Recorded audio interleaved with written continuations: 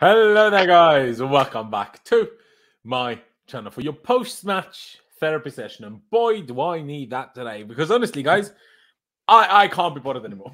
like, I, I cannot be bothered anymore. I would much rather sit here, just do a Rubik's Cube, try to solve Rubik's Cube for two hours, than have to relive this game in my brain right now. I'm I'm just stunned. I'm just stunned with them. Like, how can you go from what happened on Thursday to this? Like, we were the worst team in every metric but possession, essentially. Like, not necessarily if you watch the game, we were the worst team, but in all the metrics that have some sort of relevance, we were worse. Well, or in the big one, obviously, as good against the team that's bottom of the Premier League. And pretty much everybody just spanks them. They conceded 81 goals so far this season. Now, sure, we scored two, but as we've learned over the last three or four or five weeks, we concede at least two every game. So if we can't even score more than two against Sheffield United, mate, we are doomed. We are doomed. Oh my god! I just how like it's they they're, they're taking this Gattuso press conference sometimes maybe good, sometimes maybe shit way too seriously. Like way too seriously. All right, just be be half decent every time. That's enough. Do you know what I mean? Oh my god, I, just, I just can't hack it anymore. Bertram, uh, I just introduced you to Nation before we went live, saying Bertram is usually Mister Mr. Positivity and you know personified. I think today probably even you'll struggle with that because my god. I don't even know what to say. Like the game was so bad, so boring, so like other than Madueke's goal, so disgraceful from top to bottom. Honestly, we're lucky that we didn't lose, really. Like, you know, they had way more chances than we did. They had way more XG. Oh man, Bertram, how do you feel after, especially after what happened on Thursday? And does it does it surprise and shock you that this game went this way? Because we were speaking on Thursday after the game, we were speaking yesterday in the preview to this. Can the United result, the way it went, especially not just the fact that we won, but the way it went, can it be a kickstarter for the rest of the season? And I genuinely thought it could have been. I, to be honest, I thought it should have been. Uh, even that isn't true. I thought it would be. Turns out it's not. so, uh, thoughts? well, I started the day out with two two hours of sleep, sat in a bus for four hours, lost Brilliant. a bet because there was over you know six goals in the Celtic Rangers game. Lost Brilliant. my glasses on set bus and uh, thought at least I can watch you know Chelsea away to uh, to bottom of the league. You know perhaps perhaps you know just a quick win to bounce off. Uh, started very good. You know we saw Thiago Silva score, get welcome back into the team, but uh, I think the thing about this performance and result is uh, I could look toward you know the previous games we've had. You know the Burnley result, which I think was more unfortunate than it was bad. I think we we conceded a personal mistake uh, and a screamer in that game. I thought overall it wasn't as bad as this one. At least I think mm-hmm. this result is quite damning because, as you said, uh, we were second best. You know in all aspects. We lost on xG to uh, to Sheffield United, and yeah, you can say you know we conceded in the in the 90th minute. But again, we lose what three, four headers uh, at the edge of our own box. There are three attackers. Two of them are offside. The one who isn't gets it. You can say it's unlucky, but realistically, we should have won this game today. Uh, and we performed, you know, terribly. So we didn't deserve to. And I think it's very unfortunate because off the back of that United result, you would have hoped that uh, that we've been able to, you know, build on it you know use the momentum we have from there but we haven't now we have to sit and wait until you know next monday to play again and you know feasibly we can still qualify for europe uh I saw. I even saw someone said, you know, if we had, if we beat Burnley, if we'd won today, we'd be, you know, nine points off Spurs with a game in hand, maybe. Or if we won the game in hand, we'd be nine points. It's at least feasible. You know, there's at least a chance of it. And I think the thing about it is, right now, I think the season is over. I don't think personally changing Poch now, you know, will do anything. I think we maybe should reevaluate in the summer, but I also think there's so much negativity around us right now, and I don't think it's helping. Um, so I think today was bad, but I still think you know there's there is positivity to take from it, but not from this season. I think this season, in the Premier League at least, I think it died today. It did die today. It's a really tough one because obviously the United Liverpool game beforehand Liverpool at least got a draw back for us, which made at least sixth still very much a, a feasible option after Thursday. but now it's like every time we have a chance to do something. See, that's the that that's the bad thing this season, right? The amount of like silly, I say silly, I don't even want to call it silly. The amount of games where we just completely blew it and we're just terrible on the day or just bottled it completely. The amount of games against the, the type of teams that this happens, whether it's tonight against Sheffield United, whether it's against Burnley, whether it was twice against Wolves, whether it was against God knows where else this happened, right? United as well. Uh, United as well. Yeah, absolutely but like we we could so easily without being any better than we have been so easily be in the top six already like so comfortably. But we are so far off and I've, i've so often blamed or used the excuse or maybe excuse the wrong word explanation of, of of lack of experience of youth in the team. But honestly the longer the season has gone on the more the more I didn't really agree with myself when saying it because I'm like, you're, you're just finding excuses for these lot being pathetic, really. Because, yeah, it's all well and good, okay, they're young and everything, but does it really mean you need to bottle it to Sheffield United, who are bottom of the league? Like, again, sure, you can't beat you can't be at your best every week, but does that mean you need to be at your worst every other week? It shouldn't mean that. But seemingly that that's what's happening.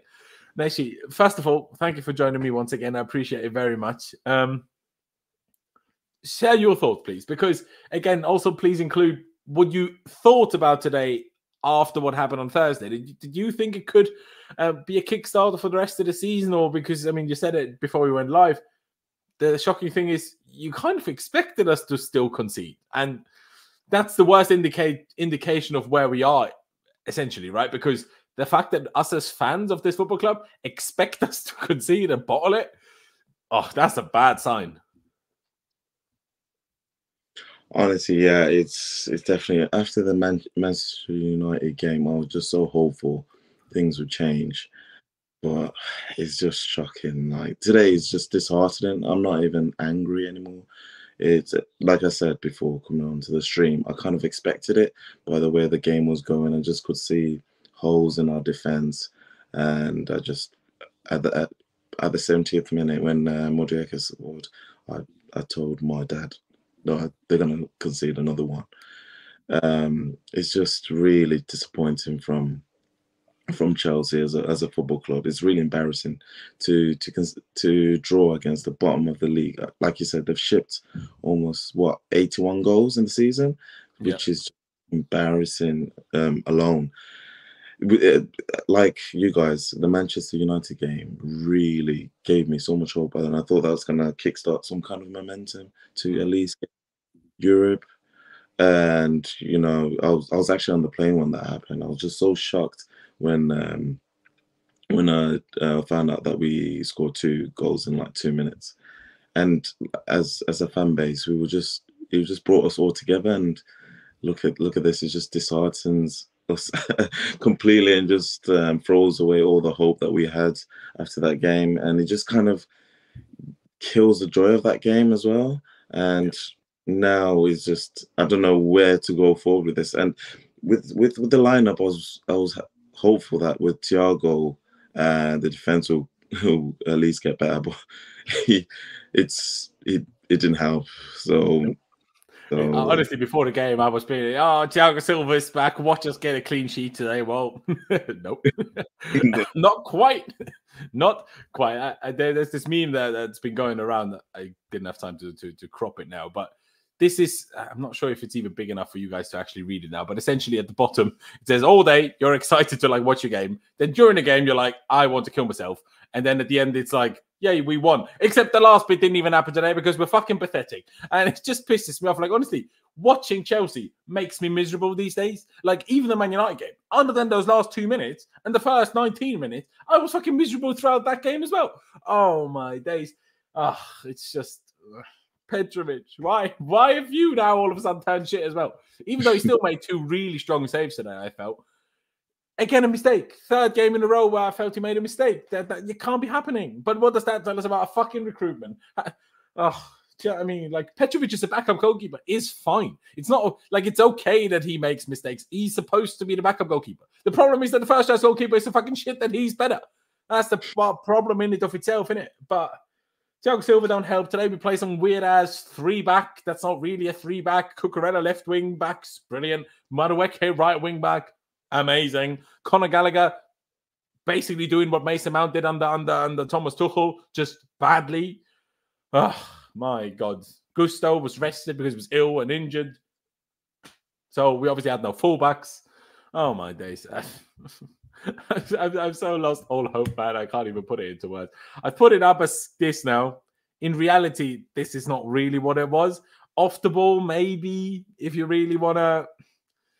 I don't know. I mean, off the ball is probably more likely was a bit more one of these, right? If I'm honest. But yeah, um, it, it doesn't even matter. Like, what, why, am I, why am I trying to like think about, oh, what did Poch really come up with today? It doesn't matter. It doesn't matter. No matter what he comes up with, it's shocking. It's shocking. The man can't coach. The man can't manage. what can he do? What can he do?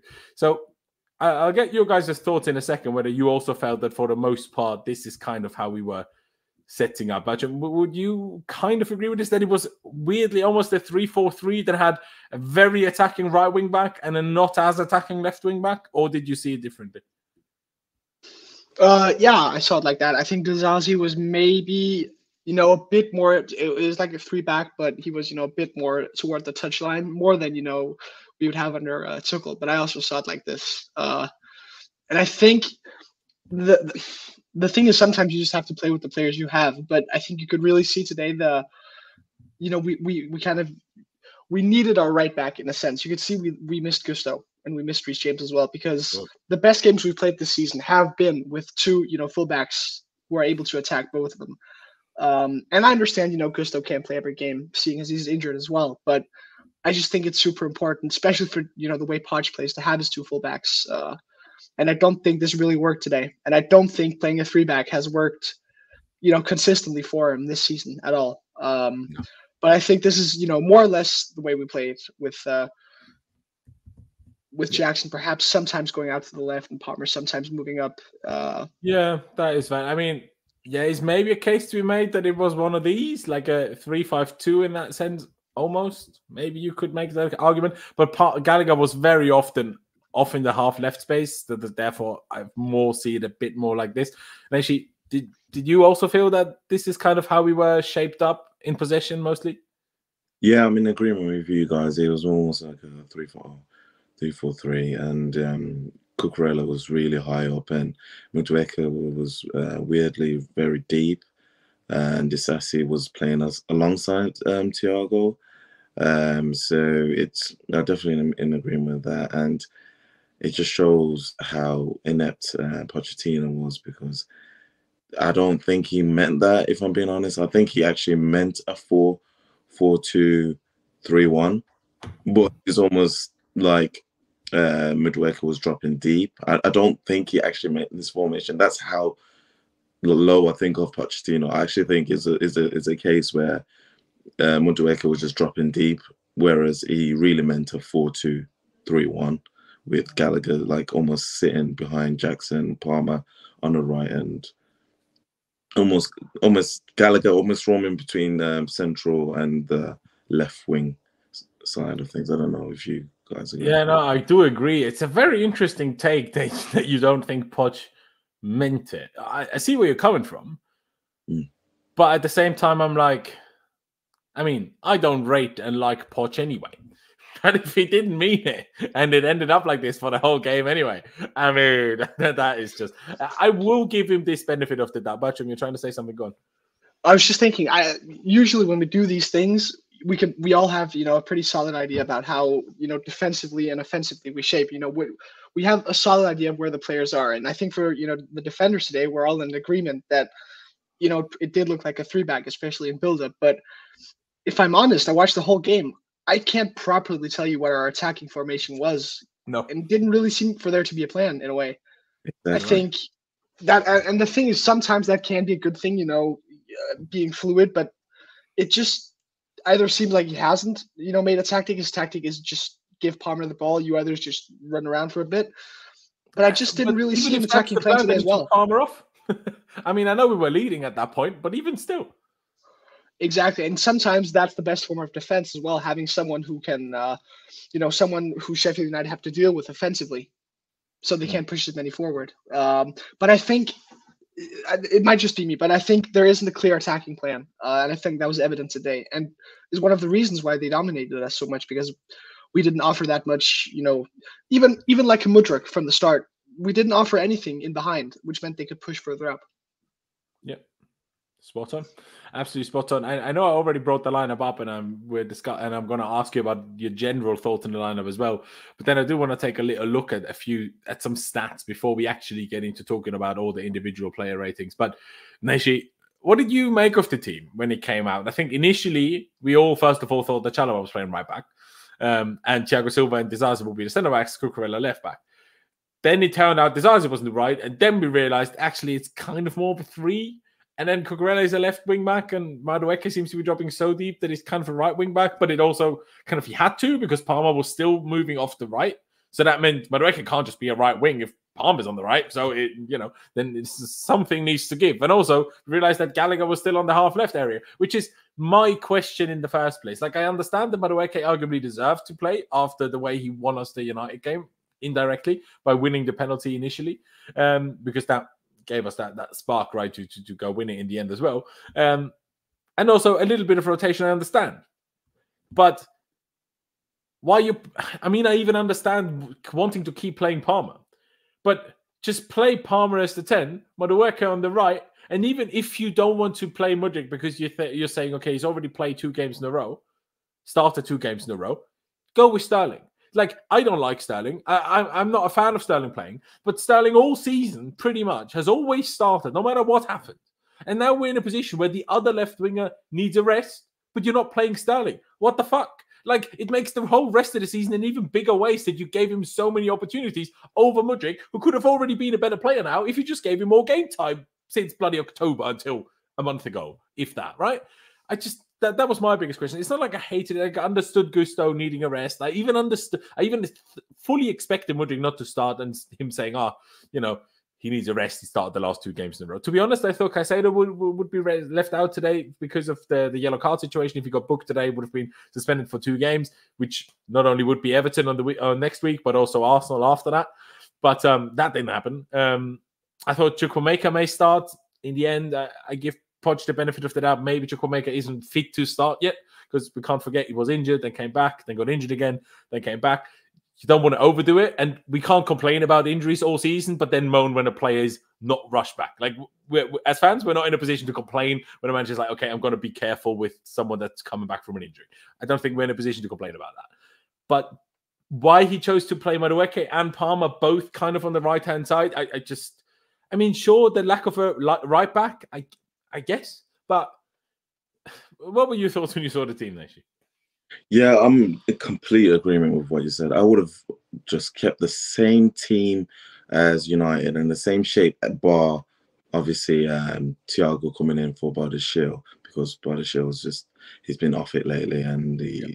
he needed to be taken out. And then obviously um, Gusto for Chalobah. I would have played Chalobah on the right instead of Disasi on the right because I feel like Chalobah's got that flexibility and he's more versatile and he's got that that um, athletic attributes to kind of go up and down uh, the pitch, whereas Disasi is, is, a bit is a bit stiff and I don't, I don't think he's not as mobile as Chalobah. So that's what I would have gone for. So I was really surprised he went with Disasi on the right, which just really it's frustrating and it shows why Pochettino is not the right uh, man for this team.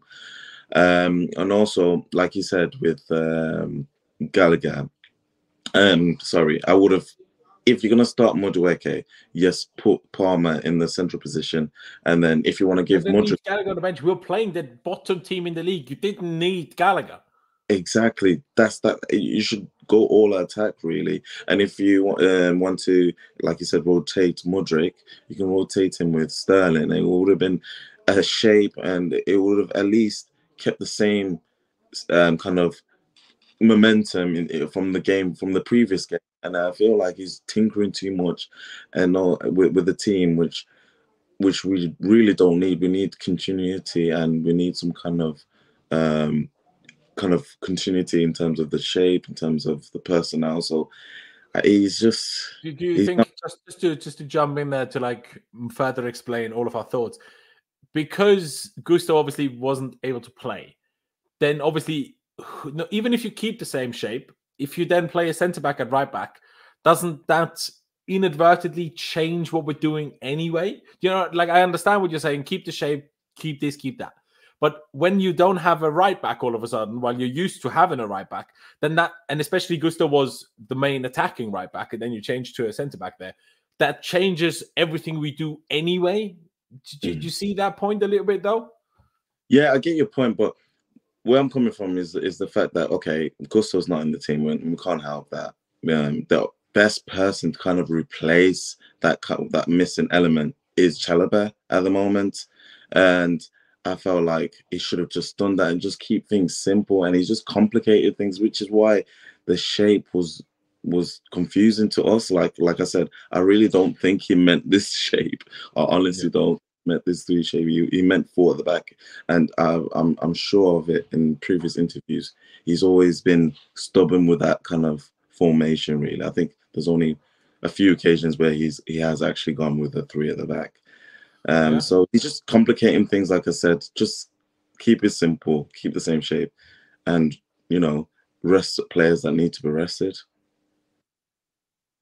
It's an interesting one. When I I'm gonna get it up on screen in a second. I've just looked at it on SofaScore and I'm gonna airdrop it to myself and then bring it up on screen. I've just looked at the average positions um from SofaScore, and it's it's actually quite an interesting one. Maybe it's a bit Maybe I need to adapt it ever so slightly. I'll get your thoughts on it, obviously, in a second. It's always a bit difficult when certain players stay on the pitch and then we make subs, and then these players kind of change positions. That makes it then a bit difficult in the average position stuff to like really truly see what they're doing and, and why they're doing something. Um, always like full storage in these pictures that I can upload. Right, where is it? Upload then. There you go. So now you can see it. So three is obviously Cucurella, 11 is Madueke, and then you can almost see him a, kind of a midfield three. But how is Enzo even deeper than Caicedo? I mean, I know Caicedo was up quite a lot, but but still Enzo was up quite a lot. Like, uh, and the, the whole thing that Palm is higher than Jackson anyway.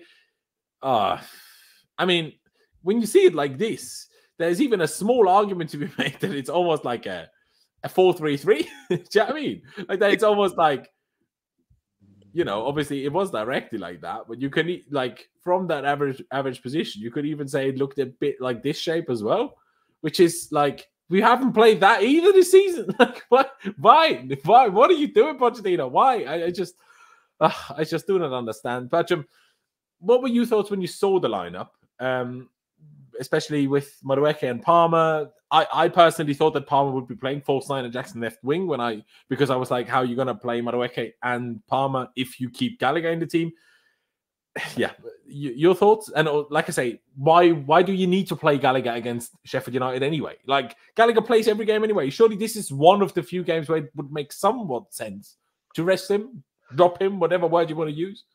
Well, I think it made sense at the start of the game because we pressed quite high because uh, in a way it seemed like we kind of let them have possession, so, that way it made sense. But I think as well, you were talking before about continuity. I think Gallagher, you know, is a part of that. Um, the him being our captain and him, you know, consistently being in our starting eleven as well. You know, him really keeping that midfield trio, if you call it that, together. You know, trying to introduce this consistency. Um, but I think when I saw the lineup, I was, you know, relatively you know happy about it. I think I was happy to see Madueke get a start. Hmm. I thought he uh, he had a very good cameo against United, and I thought today he was quite decent as well. I think he does something, especially against these low blocks, um, which you know we don't have many other people, especially when we don't start Mudryk, uh, who's able to do. You know, we saw the move that he he did against United to win the pen. We saw him, you know, round uh, the fullback many times today to uh, yeah. to at least create a chance. And he the the goal he scored, he perhaps I think he did that move like three times before, almost the exact was the same end, you know, second half. And he did it three times. One of them came off, you know, decent success rate. So I was happy to see Madueke start. Um, I, like you, thought that maybe we'd see Jackson uh, on left wing, and I thought he, we, will we'll get into him later. But uh, I thought he was quite anonymous today. I think he didn't really, uh, you know, live up to what we had hoped. But I think as the game progressed, I said before that Gallagher, you know, maybe it made sense if we wanted to press them high. I think as the game progressed and it became more technical, I think he just got in the way more. Perhaps you know when we're building up. Uh, so I think that was quite sad to see. I think if I would have uh, subbed someone off earlier, it might have been him. Uh, but other than that, I think you know, given the situation we're in, you know, having to rest a player like uh, like Gusto, I think this is pretty much the best thing you could have done. Uh, perhaps if you'd want to tinker with it, you know, Disasi has played right back. You could have played Trev right back if you wanted to, but I think that's just you know small things. It might not have changed anything. Uh, so I think given the circumstances we're in, I think this is the best thing we could have done. In a way, I might not rate him as highly. I still think it sometimes makes sense to start with Gallagher. Um, we don't know what would have happened if we played Sterling. We know he's been abysmal this season. So I think, given the situation we're in, this is as close to a good but, lineup. But, at least it would have kept it closer to what we've been doing over the last few weeks. And other than Burnley, we've actually been on a pretty good run like in terms of at least results. So, so, why move away from it as drastically as it did today? That's just the part I don't understand. Like if we were being terrible and losing every game for weeks now, I'd understand this quite drastic change. But, but in the last game, he said he wants about continuity, right? He started the exact same 11 against Man United as started against Burnley. And obviously, we touched on it because of fatigue, injuries, this and that. And also rotation to keep other players happy. Some change was absolutely fine today, but why change almost the base of the system? I just I just don't understand the the, the, the logical thought behind it. I just, but I think that that's down to the fact that we we we we missed our right back. To be honest, I think that's where it is. But and we've played plenty of games this season without a right back or without a left back, and we still played a four-two-three-one. But we didn't play well. It's not like we no, played, no, you true, know, true, really but... well when we've done that. Uh, the thing you could criticize Poch for is you could criticize him for not being, you know, brave enough in a sense to maybe start. Uh, what's his name, Acheampong from the academy. He's a right back, I think. Tall guy. I think he's a left back actually, but I, maybe he can play both, mate. Honestly, maybe play- I, I used to be quite good with the academy, but these owners have just killed me because the academy has no relevance now. The, the, the more I watch the academy, the more I will attach to these players, and then they will sell them, and I will cry. So now I just don't attach, watch and attach to these lot anymore because they will all be sold for profit anyway. So, um, but I think the thing, the thing you you saw, you see how it's gone with Klopp. You know, he's played that Conor Bradley kid. Even yeah. with uh, with United, they've played uh, they played today they played some some uh, some guy I, I can't remember it starts with a K something like that. I don't I don't even think he's a defender but I'm just saying the fact that you know we as fans from right now I I, I don't watch any academy games. Maybe you guys do but I'm just thinking if the other clubs can do it you know maybe maybe this Bradley guy from Liverpool maybe he's generational we don't know that. Maybe that guy he's not ready but I still think if Poch had used some of the games maybe to introduce some of these academy players who are playing in their natural position, you know, introduced to right back. So when Gusto needs a rest, we don't have to change the system. Yeah. Bro, I, I think, think that would make sense. How many games in the cup did we have this season against lower league opposition? How many opportunities were there to do exactly what you just said? There were so many, and he just always played fucking Disasi right back or fucking and Chilwell, you can't tell me against Chilwell in unnecessary games to keep him exactly. And if we played against you know a Burnley, for example, at home, uh, you can I, I I struggle. I, I, I see, you know, Gusto has been one of our best players, so I can't knock him for starting him. But I'm just saying, some of those games, like like today, for example, it would have been so smart for us to go out, steamroll them, get 3 0 up, 2 0 up, and introduce some of these players, or, you know, do it against Burnley. Because I don't think it would have made, you know, as drastic a difference. We drew both games. The problem I, is I we can't steamroll anyone. exactly, but that's what you that's what you're hoping to see, you know, yeah. from from the team. Um but I think that's that's kind of a thing you can level at Poch, but that also goes deeper. It's not just about today; it's about the whole season. About you know playing against Wimbledon with a very strong side, or playing against Leeds or Leicester with a very very strong side. Hmm. It just makes us, you know, it, it just it limits our squad and it limits our tactical possibilities. But if that's how he wanted to do it, well, it got us through to the cups. So. Brilliant. Only to lose a cup final as being extra miserable. Amazing. I, I, get what you're saying, though. Like, I, I, understand, and, and and you're not wrong either. Um, I don't know what shape to put this whole mess on screen today. It doesn't really matter. We're going to talk through them individually anyway. Before that, I want to highlight well one tweet by Pice, um, and then there's a couple of others that I want to highlight as well. just what we touched on first. Sheffield United were more duels, more shots on goal, more big chances created, more shots inside the box, as well as more XG. And then Pi says today was true the true unacceptable result, bottom of the league, and producing that garbage after a massive result. And I think what makes it even worse, and obviously there was that United game in between, but if you take that out of it, we played back to back against the two bottom sides of the Premier League, and we couldn't beat either of them. Like that, that is simply disgraceful. I don't care. It doesn't matter whether you're 10th or 11th or 6th or fighting for the title. That's a disgrace. like, and, and, and then, and that's what I meant earlier when I said I've given us these excuses, lack of experience and this bollocks and that bollocks. You know what I mean? But we're, we're talking the two worst teams in the league. And I know the Premier League is of a general, very high level.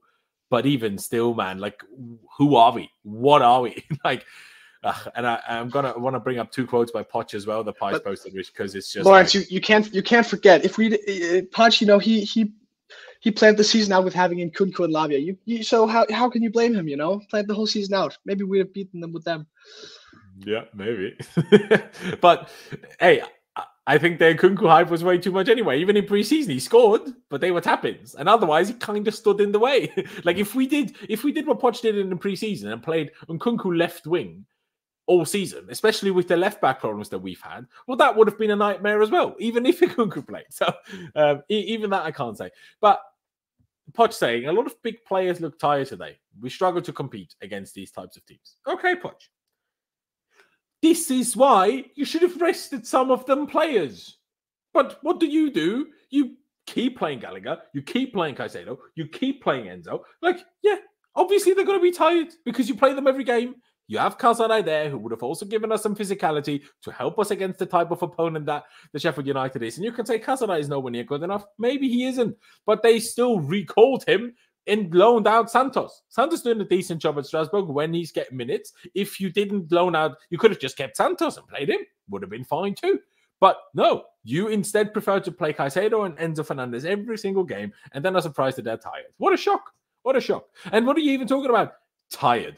The problem is that we can't control a game of football. We we passed the ball around loads in the first half today, but as soon as as soon as we get high up the pitch, we lose every bit of structure. Everyone pushes up, but then you have three rest defenders, no midfield, and then whenever they counter, they're immediately facing against either Cucurella or the back three. Immediately, every single time. And then we're just sprinting back and forth and back and forth and back and forth. But you not understand that the injuries and the tiredness is because of your football, because you play basketball instead of football on a football pitch. Like, uh, I, I, I, when I read this, I'm like, bro, he sits there and it's like, yeah, couldn't do anything. The players looked a bit tired. We struggled to compete against these teams. But why? Why? Why haven't you done anything about it? Oh my days. And then this one points dropped this season against Sheffield United, two. So it's not that bad against Burnley. Two. Again, these are the two bottom teams in the Premier League. Wolves beat us home and away. Disgrace. At Brentford, we got one draw, and that was lucky as well. Um, and obviously lost to them the other game at home. Everton lost to them as well. But don't worry, it's not because we beat them the other time. It's because we haven't played them a second time yet. So who knows? It might be five, it might be six come come next Monday because that's our next game. Forest three, Bournemouth two points as well. I don't think did we play Bournemouth a second time? No, Bournemouth their last game of the season. So we haven't played those for a second time yet either. Oh, honestly, I'm just so sad. I'm just so sad. Um, Nashi, on on today on on these kind of points. What, what is there even a, a, thought in your head anymore? Okay, this is why these things are happening, or is it just gotten way too much and you're like, there isn't even an explanation anymore, or do you still have an explanation? No, um, on, on, the injuries, I'm actually thinking as you as you just touched on there, which is a, a very interesting point about the football that we're playing is contributing to these injuries. As you said, in in the Man United game, we were literally going up and down for 90 minutes.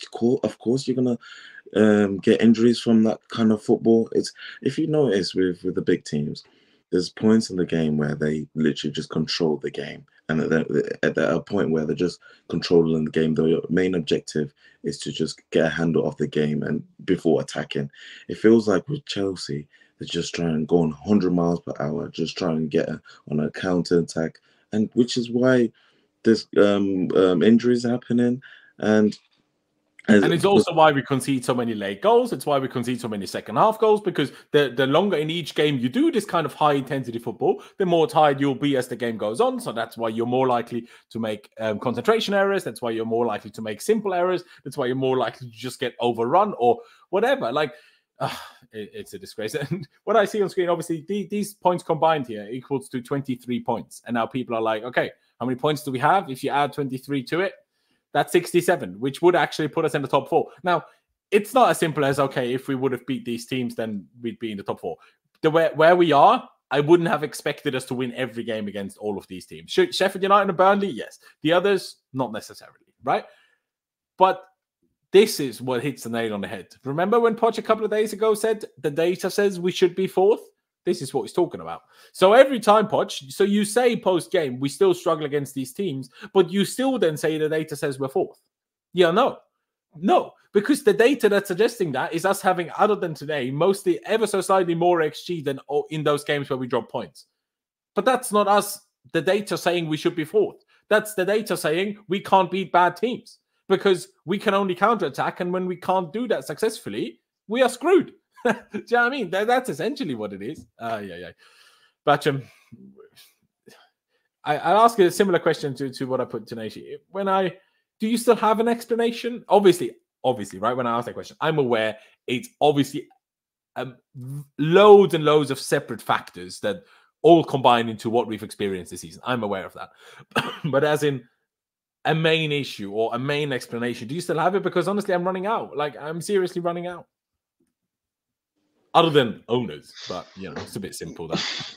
Well, I think is generally, uh, I think with a squad like this makeup of squad, you can just see uh, the inconsistency is just a general thing for us. So I don't think I just think having a squad makeup of so many young players is what's costing us now. I think even uh, you know under the bad seasons we've had under you know our second season under Conte or you know even some people didn't like Sarri's season, or even you know Tuchel or, or Lampard. The thing is, when you have older, experienced players, they just you know some you're just better at getting results, and you're just better at grinding out some results. I think you could look at you know even Brighton, for example, this season. Brighton last season, fantastic team. You know, almost got top four, uh, qualified for Europe. If you look at the squad from last season, it was I think it was a bit older than it is now, and that's just part of it. They're, I think having main midfielders and the centre back. Obviously, they're going to be worse. Exactly, exactly. But I still think think that sometimes when you just lose these experienced players, you also lose a bit of the consistency. And you know, we fill our squad with these younger players, so it's just bound to give inconsistency. But I think the fact that we're playing against, you know, it's happening against these teams, I also think, you know, some of the games we might easily have been rattled. If you look at Everton, for example, I think Goodison got the better of us. Uh, I think maybe perhaps even against like the likes of Wolves, for example, mm-hmm. they got the better of us. And it's just you know it's a t- it's a tale as old as time. You know Chelsea against low blocks, we haven't been good. You look at Brentford earlier this season. You look at Nottingham Forest. I think a lot of those points as well. We had a quite easy run. I think they were down to the fact that we hadn't you know found our system yet. I think if we played those those uh, games at the start of the season, if we played you know those opponents around January, maybe even December, February time, I think we might have won some of those games. Um, you know, back then when we were playing around with the Chilwell left wing uh, nonsense. So I think, in a way, it's both down to the fact that we are an inconsistent side. We hadn't found out what kind of team we were then. Arguably, we haven't done it now, but I think we're still more settled than we were then. Um, but I just, in general, think it is going to be like this. It's going to be like this next season as well. Hopefully, gradually, you know, less. Uh, but until these players have played together, until they mature, until you know they just get older, I, I think, or until our squad makeup is you know of older players, I think this is something we're going to see. Um, but but a, while I agree with with pretty much every word you've said there, isn't isn't this a bit too easy to use that for these types of games against Sheffield United, against Burnley? Like in the grand scheme of things, you're obviously spot on, right? But when you deep the fact to quite how bad Sheffield United are, the, if the, if these players are as good as they are, that that should be enough. That should be enough to trump maybe they ever. And, and also, what let's not forget, Sheffield United are one of only two teams that have actually been hit with even worse injury problems than Chelsea have. Like Sheffield United and Newcastle are the only two teams that have had more days injured of their in their squad of all players combined than we have. Like they're not like. Uh, I'm not sure if I can. If I go to lineup here, right? Let me find it. Where is it? I'm usually. What, what does it say? The the whole substitutes thing here. But I, think, that, but but as you touched upon, the injured players that they have. but I think as you've as you've touched upon as well, it is so grotesque in a way because we are so much we are better. You can argue that, but you know we should be so much better than this team. Um, and I think the only explanation you could find is that because you know all these players individually you know classes above one of the you know probably a top four top five side in the league if you look at them individually i just think some of that inconsistency uh that they get i think if you look at you know if you look at the sheffield united team it's filled you know ollie mcburnie up front um even Ahmedhodzic behind you know they experienced players and you know, yeah, you fill in with some young players, you fill in with some uh, some lesser players because of their injuries.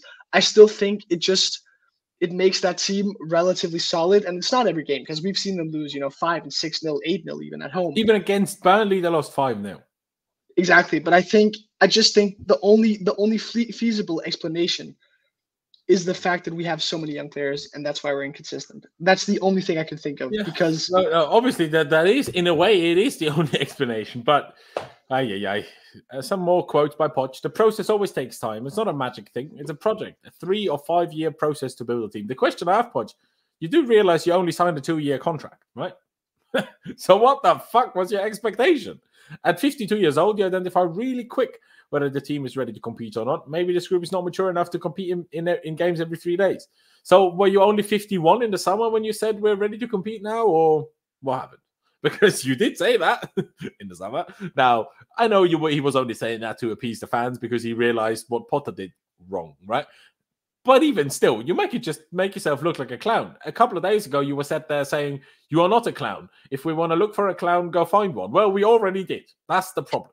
that is the problem that we are owned by clowns, directed by clowns, and managed by clowns. And some of these players are also clowns. And that's why we are a circus that's missing a few actual animals. You know, if we had a couple of fucking lions about, that would help. Do you know what I mean?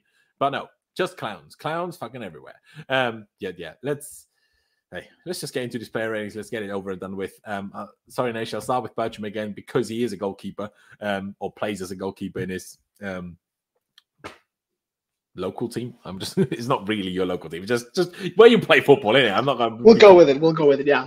Yeah, there you go. Um thoughts on Petrovic on today in terms of rating, but also the fact that he kind of made three errors in the last three games now. I guess maybe for United it's a bit debatable. When I was talking to Pice about it, he he felt Petrovic was more at fault for the for the Bruno Fernandes header, while I felt what was he doing for the third goal from the cross because he was right there, but then still stood off too much. Like, what is he doing?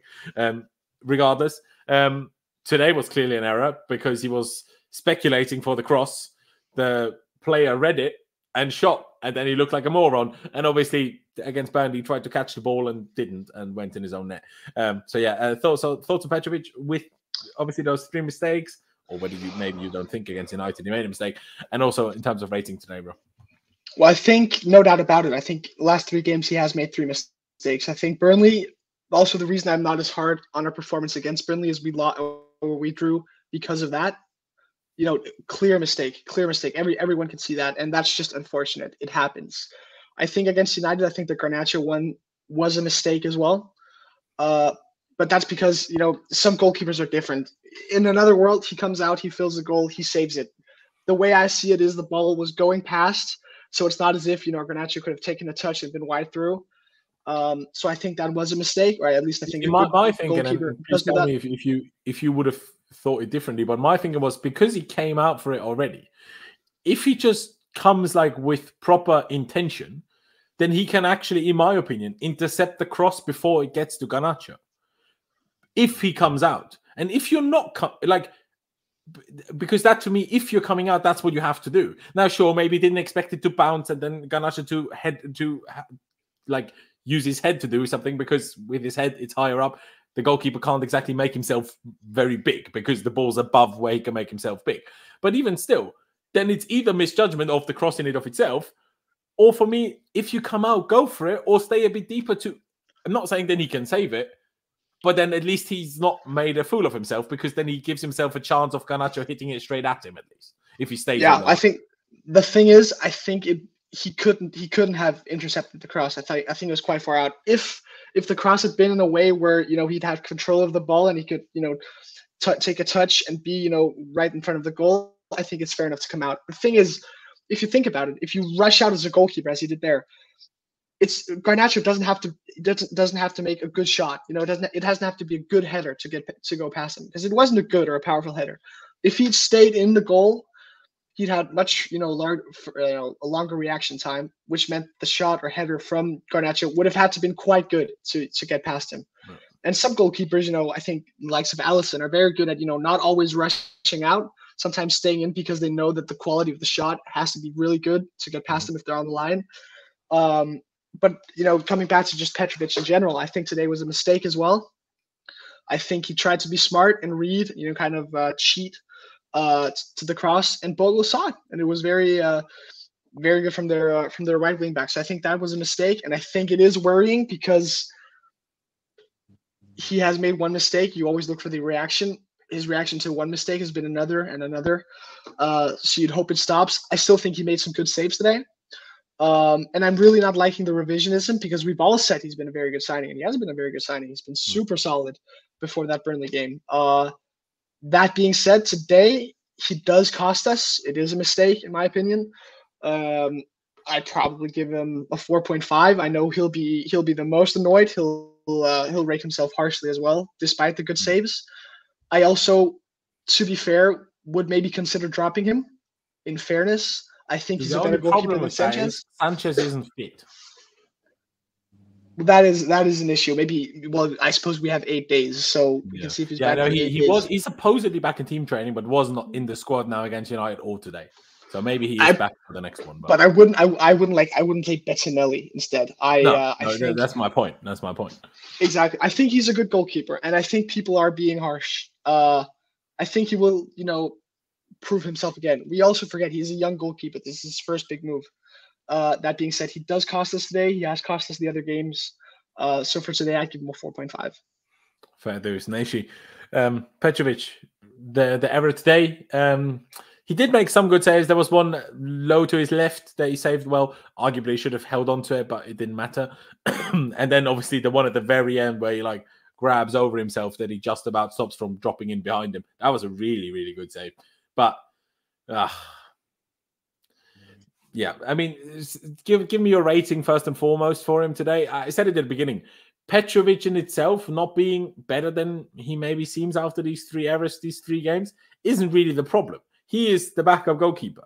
The problem is that the other goalkeeper isn't any better, really. That that's kind of the main crux of it. The problem is we bought two goalkeepers who are roughly as good as each other, seemingly. One is better with his feet, the other one is a better shot stopper and a bit more safe but both have issues, and neither of them are anywhere near good enough for what Chelsea want to be. At least with like Enzo and Gusto and Palmer, and you know, maybe you could even argue like Mudryk or Caicedo and these lot, Colwill. We have some of the best young players in their positions, but a goalkeeper we seem to have not thought that was important. And it's just so weird to me. Like a centre back, to be fair, as well. Now we have Colwill, but all the ones we signed are average. So like I, just find it weird how in some positions we're like we need to get the best in the world that are young, and at some we just need to get some that are young, not the best in the world anymore. It's just it's just so weird to me, man. But yeah, um, your thoughts on Petrovic today, and also what you would be doing going forward. Yeah, it was. Uh, it's really disappointing because um, uh, when when Petrovic um, came into the team, I was so I was so happy, and he, he showed a lot of uh, maturity and uh, stability uh, in that position, and I really had high hopes for him. But these past three games, he's consistently making mistakes, and they're not the really big mistakes, and it comes with the position, really. But especially that Burnley one, I, I think he could have caught it. Um, that was a really. he was trying to catch it. That was kind of half the problem. Yeah, and that cost us two points in, at the end of the day. And this this mistake today has cost us another two points. is is essentially cost us um, four points, which is really concerning. And I think he needs to just come out of the team. And unfortunately, as you guys mentioned, um, Sanchez is injured, which is a bit of it is a massive issue as well. So, and it just kind of uh, goes back to the recruitment. Like such a, a poor recruitment that we've got average keepers. And to to be honest with you, we um, as you said, one's really good in terms of uh, distribution, which is Petrovic, and Sa- Sanchez is a better shot stopper. And I think maybe Sanchez ante- anticipates those kind of situations where whether to come out or not to come out. Like in that in that uh, situation with um, uh, Garnacho and the Man United game, I feel like there was a split hesitance um, uh, in in that moment. If he was fully committed, I feel like he could have got a hand to that ball before Garnacho. Uh, that's my personal opinion on, that. But yeah, I, am gonna really go harsh on him if I'm being honest. I'll give him a 3.5 because that mistake, if he just stays in his box and, and not anticipate that uh, that ball coming across from that Sheffield United player, that would have been an easy save. But he, he tried to be smart and anticipate the cross. It's and, difficult, I? I don't want to defend him too much, but the thing is, I it felt to me like the the attacker. I can't remember his name. Um, Bolgay, is it? Whatever it was. Um, Bogle. Bogle, yeah. Um, noticed that Petrovic was speculating for the cross. So had he not been speculating for the cross, would he even have shot, or would he then have crossed and would it have been a simple tap in and a goal anyway? Do you know I mean? Like there, there is that case where, because the rest defense was shocking. Like if he made played a good cross, it would have been a tap in. Now, sure, there's still the potential that the guy skies it somehow and misses from three yards out.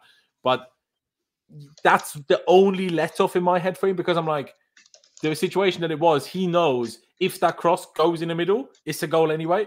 And I kind of have to just say almost fair play to like Bogle for spotting what Petrovic is doing and going for the goal. Because if he does cross it, Petrovic collects it, and we actually all praise him for good anticipation. So I, I don't know if that influences any of your rating. If you guys have had that same thought, but yeah, um, I, I, yeah. Know, I just thought I'd bring it up. Yeah, I get, I get, you, I get your point, but on the back of making so many mistakes, I feel like things simple. Like if if you you've just go back when going back on if you have bad performances in the previous game. You just go back to the basics really, and you should be really going back to how how we kind of introduce himself into the team, just doing the basics and keeping things simple. Even with the that situation when Thiago passed it to him, he um, we that almost we almost conceded with that. So he kind of hesitated and he went back on uh, onto his line. That's another situation that could have cost us a, a goal, and I blame Petrovic for that more than Thiago, if I'm being honest, because Thiago gave him that kind of look like um, I'm going to pass it to you before he he attempted that pass. So yeah, you think I, he aimed it for Petrovic that pass?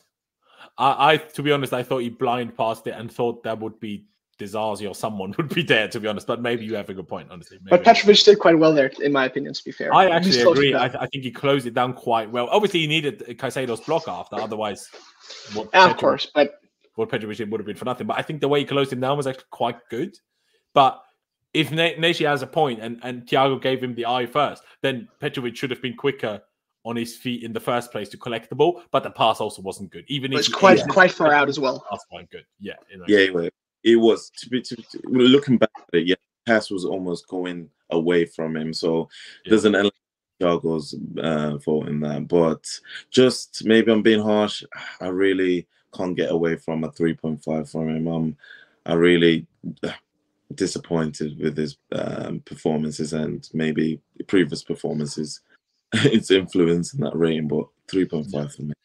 I hear it. I hear it. I, I was probably going to go roughly similar area, like three and a half, four. It doesn't matter which one I pick. It will be a four overall, which it's difficult because did he indirectly cost us? Yes. But did we go 2 1 up and was he at four for the 2 2? No. So, you know, I, I, think a four is about fair. Um, you move up the pitch we, we, because we don't want to sit here for, for too long tonight, guys. We, we've decided to kind of like each of us pick our two players or whatever where we want to say like a bit more. For the others, we're going to be a bit quicker with just stating rating and maybe a couple of words. Um, Patcham, you said one of the guys that you did want to say a word or two about was Thiago Silva.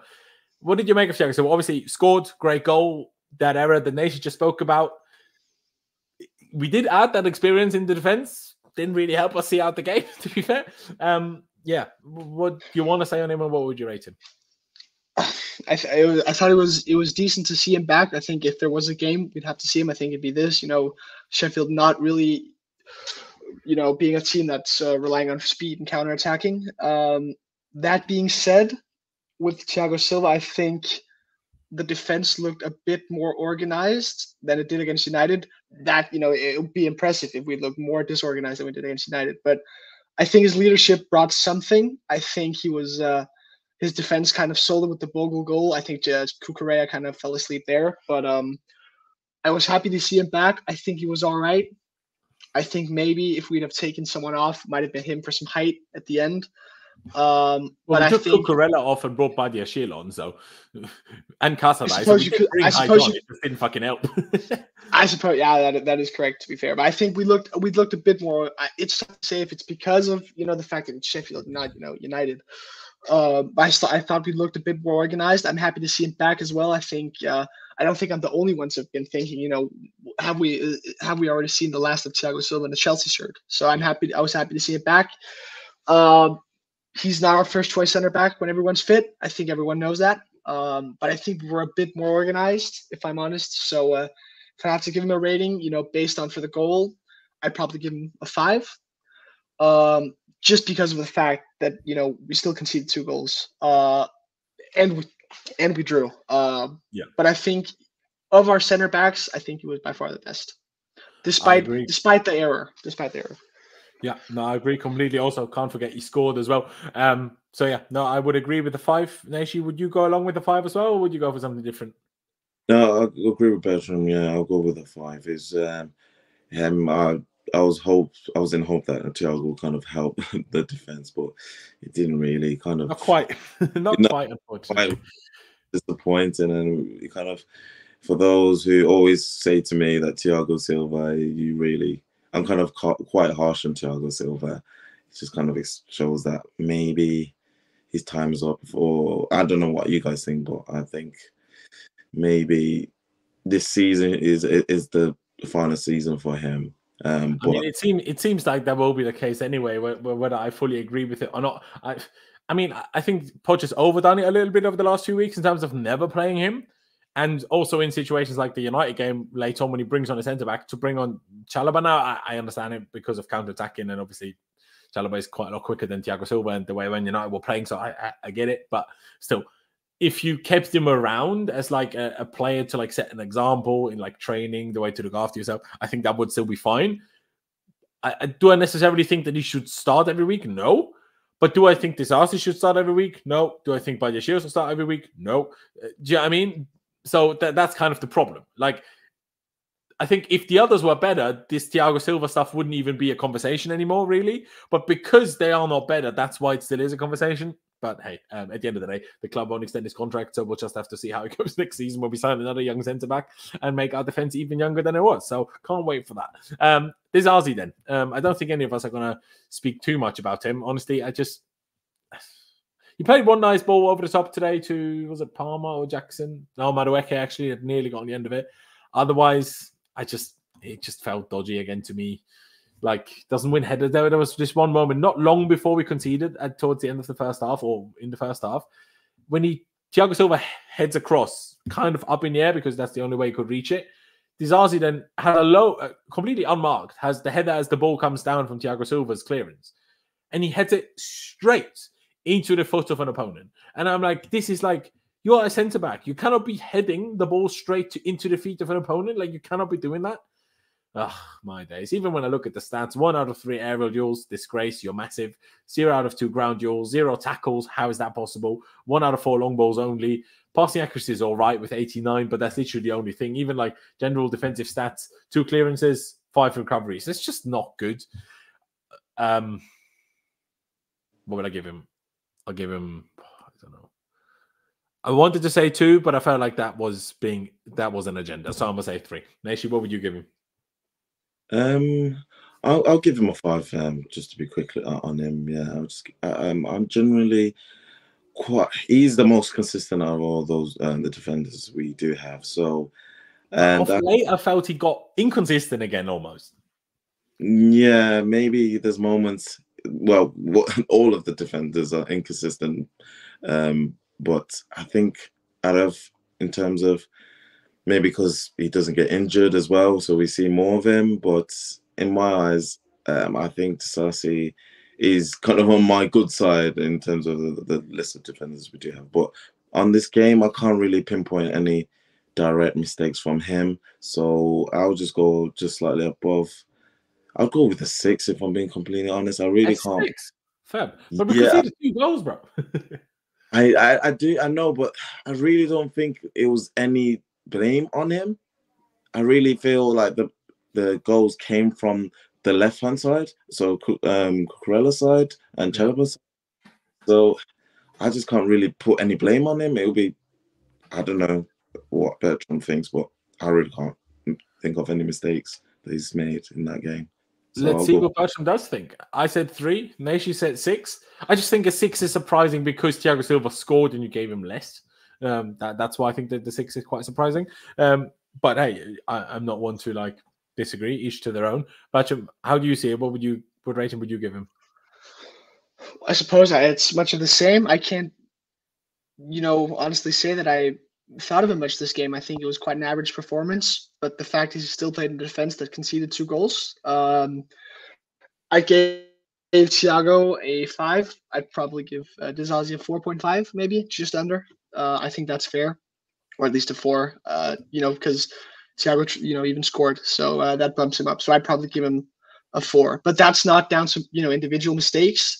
It's just down to the fact that I can't remember him doing anything, you know, particularly good, and also the fact that you know we still conceded two goals. I hear it. I hear Yeah, it. to be fair, to be fair, just that, yeah, uh, that goal from Thiago is a distant memory. So yeah, Yeah, I, I, I hear it. you so five, it's five. yeah, I'll go with five. No, first, first. I mean, overall, did this like the full rating from Bertram leaves us at a 4.3, so we've kind of rounded up to a 4.5. Okay, if you now went five and a half or five, maybe it would be a four, but in the grand scheme of things, um, hey, um, unless you want to change it, then let me know. we move over to Trevor Chalobah. Uh, Bertram, I'll just let you go first. What would you rate him today? A bit more involved, I guess, in things going wrong, but I don't know. I felt like he was still one of the ones that held against it a bit more. I don't know. Maybe, maybe it's just because I like him. I paid more attention to him. Well, yeah, I, th- I think a lot of the same. I, I can't, you know, really put a finger on any massive mistake he made. I think he's just a solid center back, and I'm happy to see him back. Uh, Mm. Give him a 4.5 as well, same as Disasi. I, I can't really. Maybe you could say that he could have done better for one of the goals. I can see that, but I think in general he's you know quite solid, and I think he played a solid game to be honest. So um, I'd probably still give him a 4.5 though, much of the same reasons as for Disasi. Fair dues. Fair dues.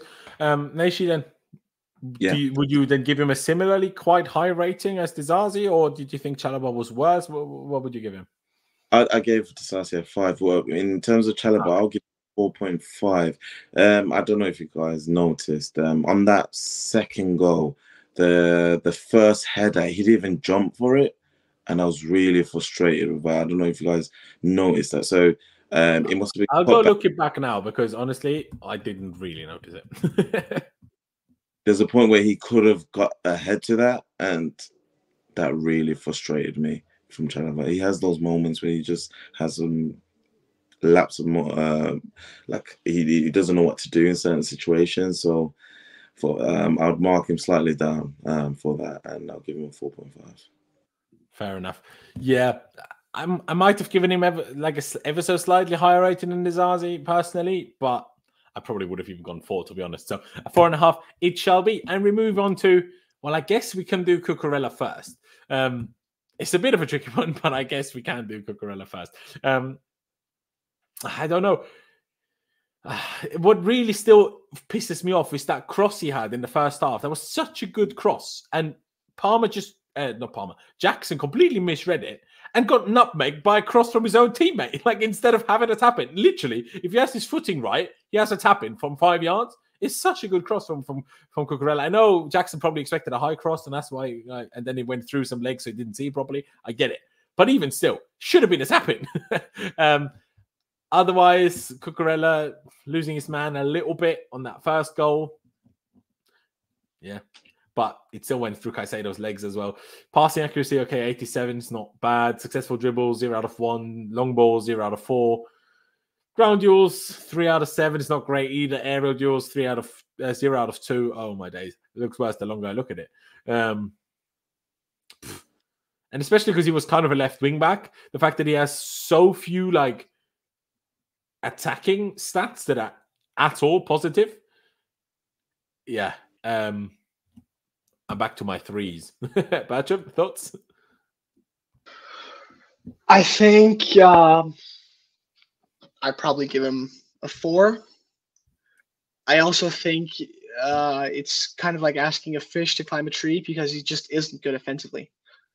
You know, this isn't his game in a way. I think he the games he's been best in is when we played you know flat flat four and he's the one being asked to defend or even remember one of potter's last games dortmund at home when he played left center back in the three that was arguably his best game for us exactly he was very good there very good defender uh i think we have also seen that in the last couple of games but yeah.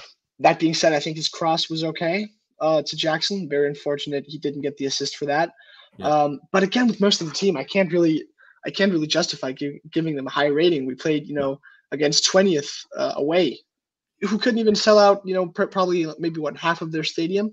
That's what it felt like. So, so uh, I'd probably just give him uh give him maybe a three and a half. You know, I'll also go three and a half actually because uh, I, I need to give him a little bit of benefit for that cross that should have been an assist. Um, Nashido, two, three and a half. So unless you're going to go very different, you're probably not going to change it. But, but, but quick thoughts and rating. Yeah, no, I'll go with a three and a half. I think that's fair. He's, it's as Bertram said, his attacking uh, game is is just is non-existent. It's just it's just not in him. And to think that we paid sixty-five million on him is just is just just points back to the recruitment and and the only thing it does offer is that kind of like um aggression, really. the aggression getting to the ball, and I do like that side of him. And he yeah. does good um, passing ability, and he's, he, he, he, sometimes tries to start start a lot of the attacks. And yeah, not not nothing very much to say on him. And I'll go with. I, I think a player. I mean, I I think he will probably be sold in the summer. Maybe we will fail to sell him and have to loan him. Wouldn't be surprised. I do still believe that under the right manager, Cucurella can actually be a really really good player in a in a squad if you just use him right. If you use his strengths, he can be a player that very few players can be like on this note now, I wasn't really sure until now. L- let me pick a Cucurella one where I say a bit more and I also get you in one more time. Because Bertram, you spoke about his attacking, and I, I, mentioned this in a stream a couple of weeks ago or a couple of days ago, whenever it was. The thing is, at Getafe, right, where he was before he went to Brighton, he played left mid or left wing, and that like why can he not attack now? Like it's so weird to me. Even at Brighton, he wasn't initially was playing left wing back. Only then Potter turned him into that kind of left centre back role, like hybrid left back, left centre back, right? Like I, am not saying he was probably not amazing at Getafe, like didn't score like loads of goals or get loads of assists or whatever. But even still, if you've ever once played as a as a attacker or midfielder at least, I, I don't understand where it's all gone. Like I know the premise is a bit different, but that just confuses me. Doesn't that confuse you, Bertram? Uh, I suppose in a way, I think he had like a future stars card back yeah. then when he had the left mid. I think that's what I'm thinking of. Yeah. If I look at the stats, he played the season before he got sold to Brighton. He played 37 games and got three goals. Uh, I think the thing is with with you know Cucurella and Getafe in particular, they're a very very defensive side.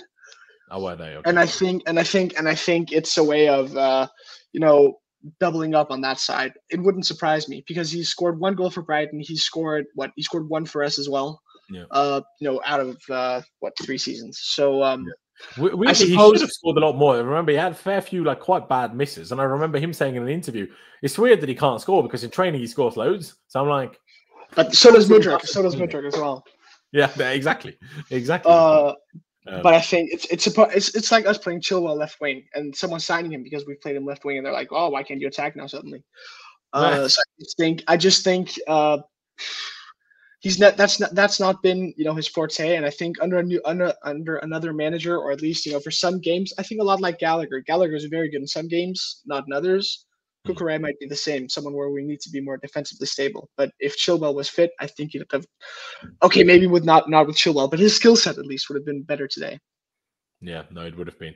It would have been. I mean, actually, just quickly, if I now picked Cucurella to speak about, what are your thoughts on this? Like, I, I get um, Bertram's point, but Getafe quite um, defensive. Maybe it was more of a left mid in a in a three-five-two situation rather than that it was an actual like attacking or like a left mid that has a left back behind them.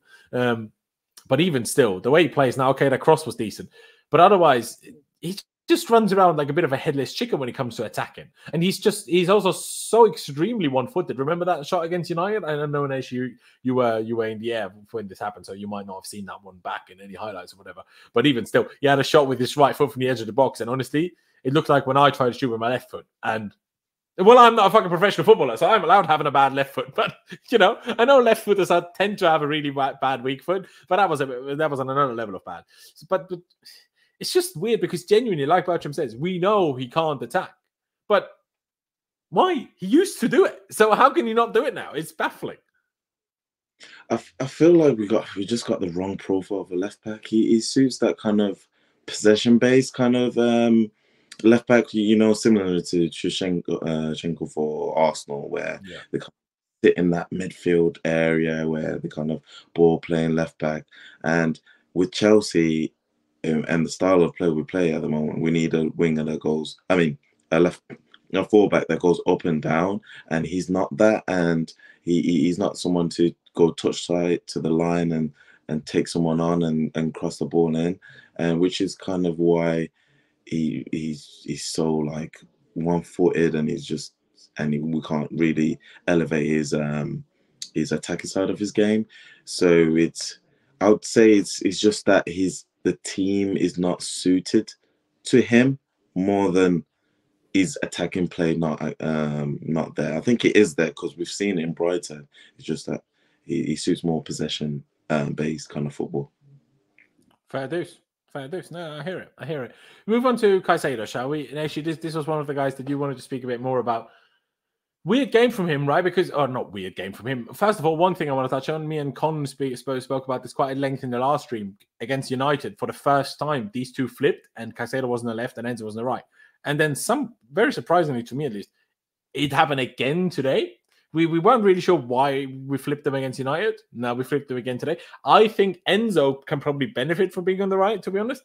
But for Caicedo, I don't really understand it, but they were both very like high and getting involved. Like there was plenty of times Caicedo was like in and around the box trying to play like a last pass or you know being involved. Like I think there was even an occasion where he was thinking to shoot or did he get it blocked or did he lay it off in the end, whatever. But different to usual, but still with the same conclusion that our midfield can't control a game.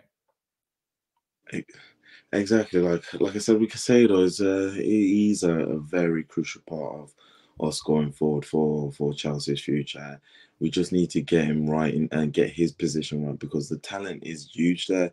And I feel like we're not we're not using um, um, well Pochettino's not using Caicedo um, properly, and he's really not a CDM, which is why he moments in games he makes those crucial uh, mistakes like he did for for the United game when he uh, put Garnacho through, and I feel like he's almost like should be a part of a three midfield um, instead of a two, uh, instead of a pivot, and which is why it's kind of we're not. Um, I mean, I know Gallagher plays as the ten, but and I know off the ball Gallagher almost presses the second striker, but indirectly we kind of have three midfielders on the pitch every game. I know it's still in a pivot, but you, you get you know what I mean? Like we still kind of play with three midfielders every game. Well, I really feel like he needs almost like Gallagher to to sit uh, with alongside him and then have almost like a, a four three three and a flat three. Yeah, a flat three. So it's it's a case of I feel like if we build around Caicedo, I know Palmer is the main guy and he he gets all the headlines and, and he's he's a huge talent as well. But I really feel he's the key for us to progress and be successful going forward, we need to really get his position right and really get maximize his attributes because the guy is really talented and and a lot of times he's as isolated in that position where Enzo's gone off Gallagher and he's having to literally go on the left side of the pitch, the right side, covering both both flanks, and that's just not good for him. It's only because his uh, uh, athletic abilities allow him to kind of do half a job, but um, I really think we need to get that right. And it, um, I don't see Pochettino staying any longer. Um, I feel like if the manager does build around Caicedo, it'll be just you'll see the fruits of it really. Hopefully, bro. Hopefully, what rating would you give Caicedo though? Uh, um, particularly this game, uh, yeah, just below average, so um, a five. All right. Yeah. Yeah. I mean, uh, Bertram, as I put it to you, stats aren't even that bad. Five out of eight ground duels, two out of three aerial duels. My problem with Caicedo isn't when he gets into duels. Like that, that's actually also progressed as the season's gone on. Um, early in the season, his ground duel ratio was usually pretty poor, but that has improved over the last two, three months. But my problem with him often is the amount of times that he doesn't get into duels. Even that, remember that save of Petrovic in the first half when what was the guy called Hamer? He took it round Caicedo. And I know Caicedo is probably careful to not get booked because of the two game suspension, but even still, you're you're still in a way a DM. An average player gets the ball in front of you and does the simplest of shimmies, and you just look like you've never even attempted a tackle. Like it's just baffling. But yeah, um, passing accuracy weren't great with 79, but I guess not not totally shocking. But um, what would you give Caicedo? I think you know pretty average performance from him. I think you know it's almost what we come to expect with Caicedo. Hmm. I think a five is you know about all right. Uh, the things he does, he does all right, but sometimes you would wish you know a bit more from him, uh, and yeah. I think that might come with the right coach and just you know implementing the right system. But uh, for today, I'd just give him a five, below average, as uh, as they said. Fair dues. I, I, would have gone four and a half, but that leaves it at a five. Regardless, we move on to Enzo. I don't think any of us want to particularly highlight him today, honestly, uh, other than that he was beefing Chris Wilder for some baffling reason. um, I don't really remember. Ooh, I've just looked at some stats. Zero out of five ground duels. That is disgraceful. Three out of five aerials. It's quite interesting because it was quite small. Two out of uh, zero out of zero tackles. Okay, two uh, zero out of two crosses a bit meh. Even for himself, two out of seven long balls is dreadful. The passing eighty percent is not good enough for him either. Honestly, having seen these stats now, I'm giving him a four. What would you give him, Bertram? I think that's fair. I don't think he was uh, he was good. I also think the way you know we tactically set up, it was for him to have the ball at the edge of the area and to kind of pick someone out. I also think we didn't help him that much. You know, I, I remember a couple of times when he was, you know, at, at, the right side of the box and he was just kind of looking around for someone and he had to try these risky passes, which is, you know, might explain why the passing accuracy is so low. Um, but I think for his, for the lofty standards that he has, you know, we have seen some very, very impressive passes from him. Uh, you would expect more, but, you know, two things can also be true at the same time. I also think we didn't help him as much as, you know, maybe we should have. So uh, I think perhaps a four is fine. Perhaps you know, showing his defensive uh, liabilities as well, or at least for today. Yeah, no, he, he did in a way. It's, I mean, whenever I just I talk about this midfield, Caicedo and Enzo, I'm like, you can't control a game. There's some people like Pies say, oh, we had all the possession, isn't that controlling? On the ball, they're fine. On the ball isn't a problem, other than when, like Caicedo against United, give the ball away stupidly. On the ball is my issue. The, my issue is off the ball. Now, sure, the main problem of that is Poch, of the rest defense, the structure, the way we press and then don't push up the rest and whatever else gaps.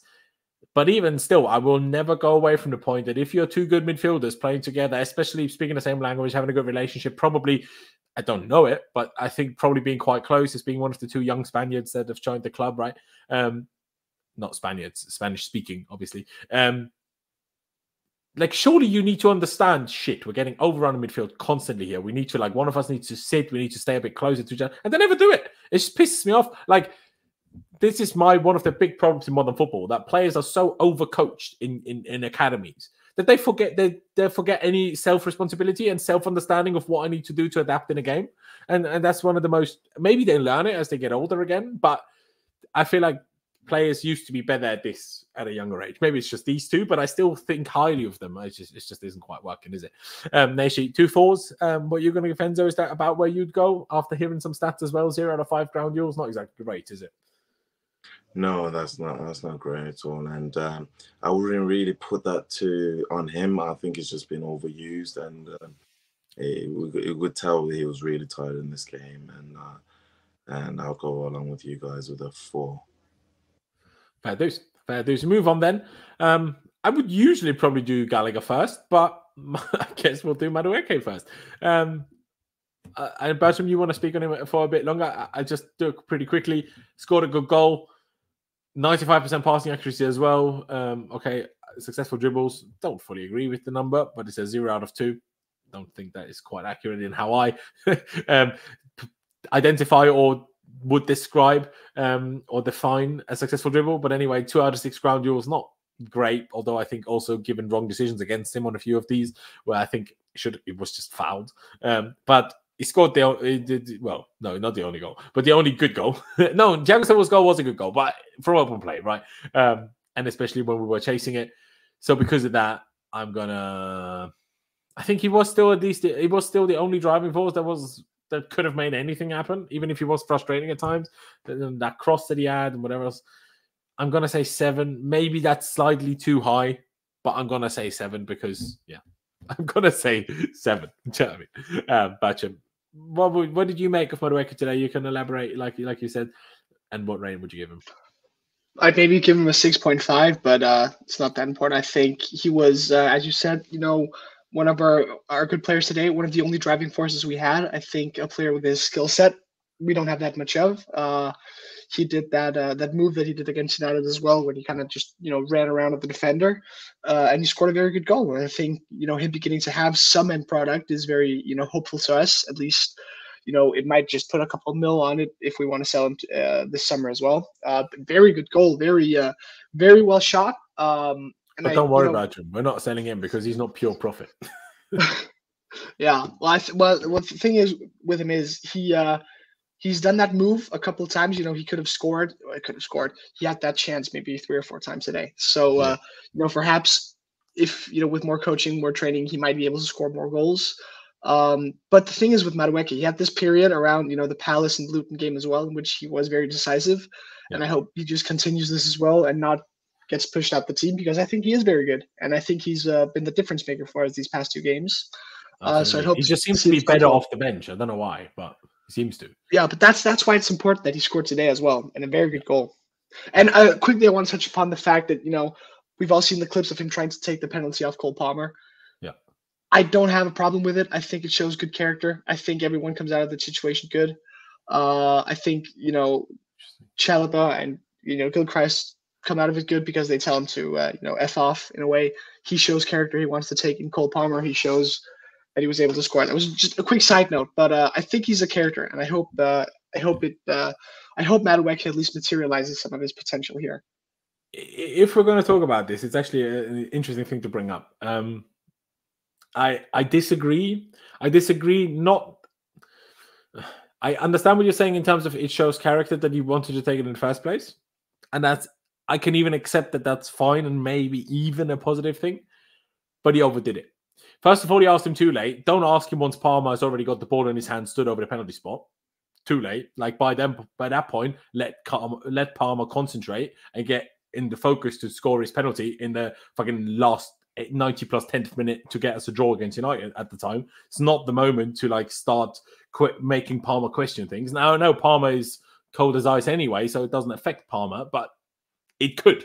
So I, the, like I say, I, I, just think he stood there too long, and the fact that he needed Chalobah to pull him away meant that he wasn't giving up once Palmer said no one, and that's where I have the problem. Ask once, okay, fair enough. Even if I'm not the biggest fan of it, because I think it should be clear that's more on the manager. But after you've asked once and, the, and he says no, with the record that Palmer has, you should not be questioning it again. It's just my take. Again, everyone can have different thoughts on this. Um, Neshi, rating for for Madueke today, and by the way, Bertram, I think I might also adapt mine to a six and a half. I think a seven is a bit too especially because I also think it was somewhat poor goalkeeping as well. Um, not not like a goalie error, but I think the goalie made it way too obvious that he was flying to the far post that, you know, Noni could just smack it in at, at, the near post high and knew there was no way he would save it anymore. Um, because it's more difficult for the player to go far post. So in that sense, it's just a bit poor goalkeeping for me anyway. Um, but yeah, Neshi, what, what rating would you give him? And obviously, if you want to say a couple of words, please do. Yeah, I'll go with uh, moderate uh, with a six point five as well. Um, I was I was considering seven because I was mm. really happy with Madueke, and it's just unfortunate that Palmer is um, plays in that position because I, I really can't see uh, um, Madueke starting over Palmer consistently. So that's an issue in itself, but it's a good problem for a manager. But Madueke is really talented. He really he's really productive. I've, I've spoken about him how he constantly takes on his man and he constantly keeps um, the opponent guessing, and that goal was brilliant. He um, he had a similar shot and he went for the top left, but he noticed um, that wasn't working out. I think he went for that near post, which is really clever from him. From him, and finish, yeah. yeah. exactly. And uh, just to touch on what you said, Laurenz, uh, about I feel like he he's better off the bench rather um, rather than starting, which is maybe a bit harsh on him. It's just I feel like he should be that kind of bench player, but they, they, they, I can understand why he rewarded him with a start. So yeah, I'll go with the six point five. Fair deuce. And Nashi, one of the players that you wanted to speak about more, Conor Gallagher. Um, or did I read that wrong? No, you did say that, right? Yeah. Yes. Yes, you did say that. Um, what did you make of him? Obviously, got the assist for the Thiago Silva goal with the corner, which I guess that is positive. Um, otherwise, honestly, today he's a difficult one. Ninety-six percent passing accuracy. Okay, zero out of two dribbles, one out of two crosses, two out of two long balls, one out of one tackle, four out of eight ground duels. Okay, zero out of three aerial duels. That one's maybe not as good. But I feel today, uh, part of it was all right anyway. But whatever wasn't right to me wasn't on him because why on earth was he playing the position that he played? That, that, that's my biggest issue today. But but how do you see it, Neji? I do think it was a, it was a good assist from him, but in general sense, I just sometimes it's similar to Cucurella. Like I feel like sometimes Gallagher is just running around the pitch like a headless chicken. Like honestly, yeah, and I really do get why people uh, like Gallagher and he's passionate and he's got the energy, but I think there's a there's a barrier with him. There's a kind of like if you look at the whole squad and about his ability, I think he's just an average player, if I'm being honest. And I feel like eh, this is the best we're gonna get from Gallagher. And I would prefer Chukwuemeka in that position. I think he'll a lot more, a lot more attacking prowess, and it's just a better player, if I'm completely honest. And I feel yeah. limitation with Gallagher, and that might sound harsh, um, but I just really feel like uh, Chelsea as a football club should take that opportunity and um, sell him from uh, sell him from being honest. But particularly looking at this game, I would say that it was um, just below, or the assist probably bumps him up to a five point five, but I just ordered him. Bro, if you don't think he was good, you can go lower. I don't think anyone's like having a go at you. It, it sound the way you said this felt like you don't really want to go five or even five and a half. So if you want to go lower, go lower, bro. No, to be fair, that that that assist was a was a great cross in the ball, and uh, and I think um, he he's one of our good uh, corner takers, which is which is an asset to to the team. So purely on that assist, I would bump him up to a 5.5 if I'm being honest. Fair dues then. Fair dues. Bertram, what would you give Gallagher today? Obviously, you got that assist. One other th- thing that stands out from him for me is that that shot that he had that he went so far over. Um, otherwise, I can't really remember much other than him being on the left and passing it backwards to Caicedo and Cucurella most of the time. Well, yeah, I think uh, fair enough assist. We, he put it on a play for Thiago Silva. I'd give him yeah. a 3.5. Uh, that might just be my memory because I can't remember him doing anything else. Uh, I just think he was poor. Might not be, you know, his game, but um, I for for today's rating, I'd give him a 3.5. Fair enough with the assist, but I just think he was poor. Didn't really do anything. Um, realistically, maybe halted some of our attacks. I still do like Gallagher, but I just think for today, I'd uh, shove him down to 3.5. All right, it's it's a tricky one for me because obviously the assist, I need to bump it up a little bit. It's also like, do I think it's totally fair that the defenders have higher ratings than Enzo and Cucurella and in, in your estimation, Gallagher?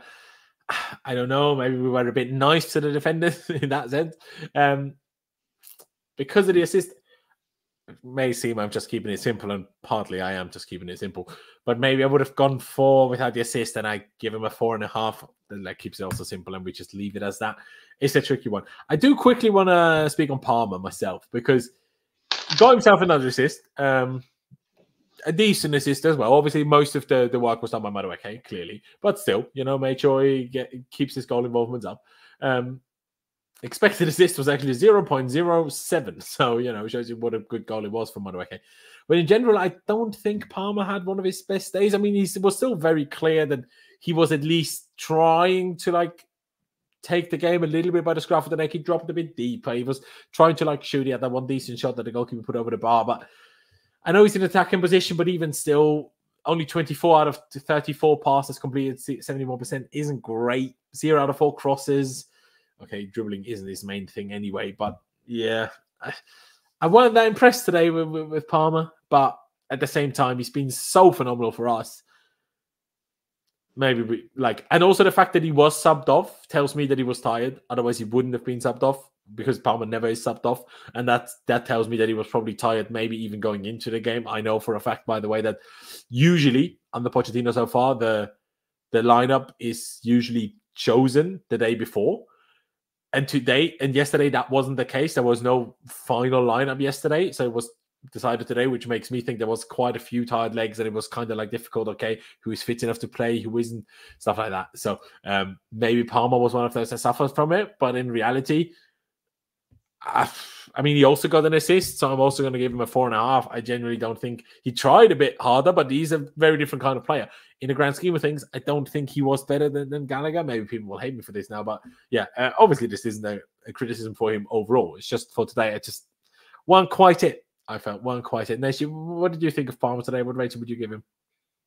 Yeah, um, I, it wasn't his definitely not his best games. I think his ball retention, his game um, was not great, and I, I, think he forced a lot of things today. He was he just wasn't his usual self, and that's probably due to um, um, overload of games. And um, and with that assist, it was just a simple layoff to to Madueke, so it wasn't like a uh, Paul cutting through uh, assist. It wasn't like a. it was a bit of a through ball, but like, but on the wing, so like not special. Yeah, it wasn't anything special. So, yeah. in terms of rating, is is a difficult one because I love Palmer, to be honest, and maybe yeah. I'm biased with him. Um, I would say for his standard, I'm just I'm I'm torn between four point five and a five, just because I like him. Uh, I'm gonna yeah. give. Fair enough. Fair enough, Bertram. What rating would you would, would you give Palmer today? I've seen a few people in the chat. Jay says he was two. It was a two for me. Shocking. Vic highlighted Palmer walked to take a corner kick twice. Now I'm not sure what the score was when he did that, so it's a bit difficult to judge. If we're leading, I don't think that's a problem. And one all, maybe a bit annoying, but also like what we often need is a bit more calmness anyway. So you know, maybe a bit of an exaggerated exaggerated criticism. I feel big, but yeah. What about what about you, Bertram? A four and a half and a five so far.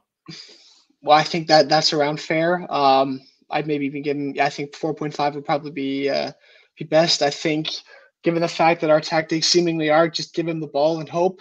I I can't always criticize him for you know wanting to be the main guy, wanting to take the shots. Uh, fact of the matter is sometimes it does hold our attacks, but you know who's who's he going to pass it to? And in, if you look at it that way as well. Um, I think got an assist. You touched upon it.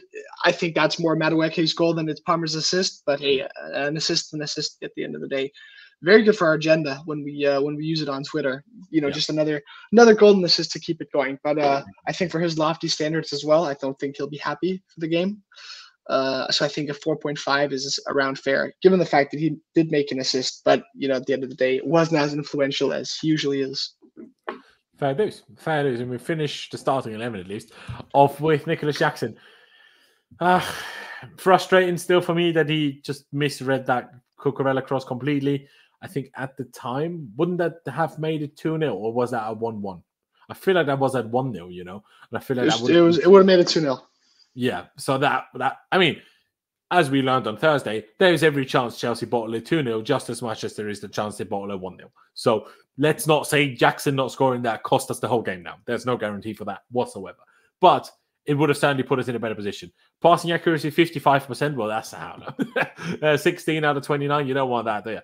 Uh, that that is not very good. Um, dribbles though, the most uh, completed in the game. Um, three out of five.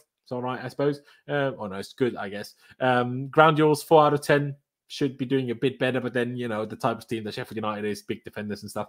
Aerial duels, he actually got three out of five, at least above uh, above you know more than fifty percent. So I guess that's okay but yeah, it's, it's a typical Jackson game for me where I'm like, I mean, he had, did he even have a shot? No, didn't have a single shot. And so, sometimes, I mean, I know some people disagree with this.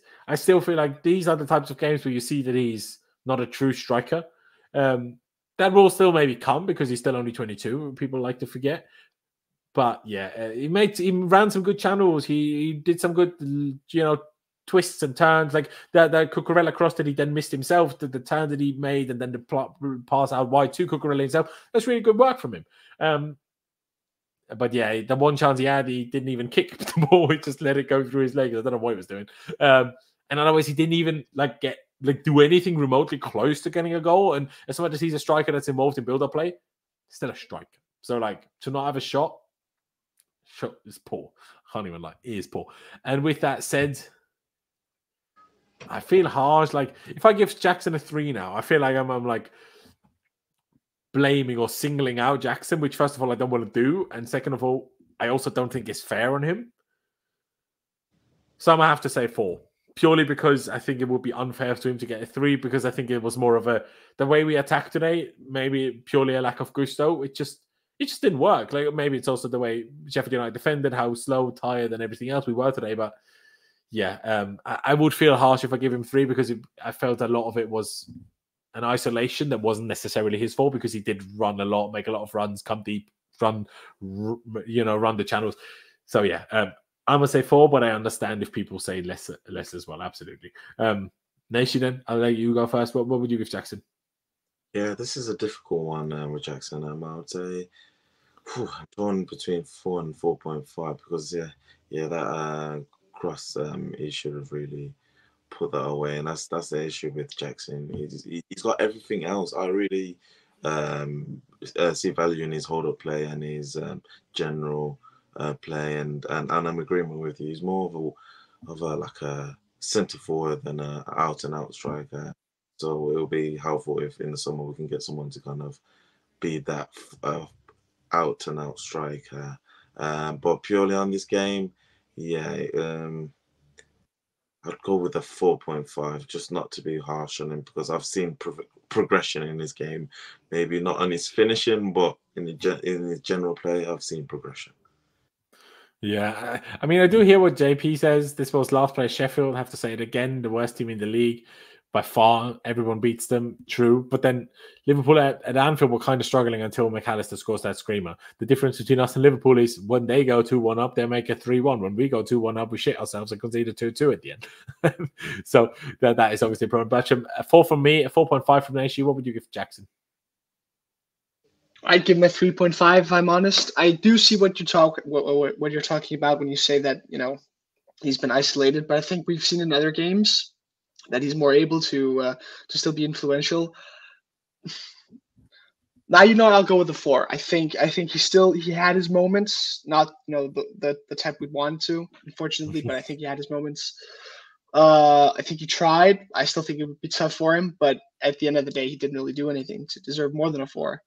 Uh, if that's his fault, if it isn't his fault, it doesn't really matter at the end of the day. So uh, I'd give him a four. Uh, I'd also be patient with him. I still think he is quite good. Uh, I do see shades of Drogba with him, so uh, I hope he can continue his uh, development next season. Wow, I've just seen a crazy stat, a crazy stat. Um, as we are about to, obviously, that leaves us at a four. We're about to do the subs and then punch. But just quickly, let me bring up a stat here. Um, Chelsea are the first team in the league to go to Sheffield United and not have ten or more attempts on goal. Brilliant.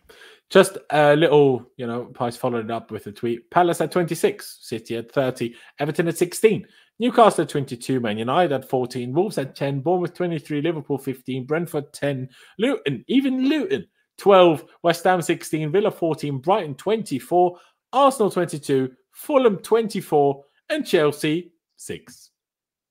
What a manager and team we have. Don't I love it? Don't I love it? Um, any thoughts? Anything that you want to say, or shall we just leave it at that? if we, if only we would have had Nkunku, then it would have been all, all been fine. Yeah, no, hundred percent. Nkunku would have saved us. We would have won seven two at least.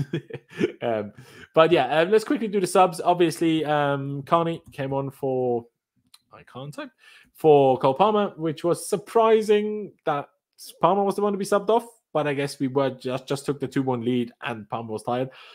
But the much bigger problem was, or much bigger concern for me was, why did the subs, excuse me, happen so late? Again, I know we took the lead in the 66th minute, but why was that? Like we were so bad first half. Why was there no change at half time? Why? Tell me, Pochettino, why? But anyway, um, Mudryk later came comes on for for for Madueke. Honestly, did nothing other than lose a header in the process of the last goal. Um, Cucurella was replaced by Badiashile. Love that. Big Ben did nothing again. Um, and at the end, Casadei came on for Jackson. So that didn't quite help either. Uh, I don't think there's much to be said on any of them other than maybe Carney, um, who maybe you could argue given a rating for, but even him, I don't genuinely think so. He came on in the 75th, uh, 75th minute. Yeah, he, he did all right. I didn't notice Mudryk other than losing that header. I didn't notice Big Ben other than losing that header. And I didn't know notice Castanado. So um, I don't think there is that much to say. Obviously, if you boys do have something to say on any of them, you can in a second. I will start bringing Pochettino up, um, and I'll bring you in on that first and foremost, Nation. What would you give Poch then? Obviously, if you want to say anything on the subs, hit that Yeah. as well. Pochettino zero. I didn't know what was going on at all, and I, I really hope he doesn't make make it to the end of the season. We really need to get him gone. We're just wasting time, to be honest. Just really, I mean, but don't you think it's a bit late now? Like, because Yeah. what, what managers are available that you could get right now? Otherwise, we'd have to do interim for what four weeks again or five weeks again. It's not ideal either, is it? yeah, no, that that that is a point. To be honest, yeah, I feel like, but they need to almost make that decision now. If you know yeah, what I mean, agree make with that. Internally make that decision now that this, Yeah, and this look, seriously look and see if we can't somehow convince any of these other managers to go to us over elsewhere.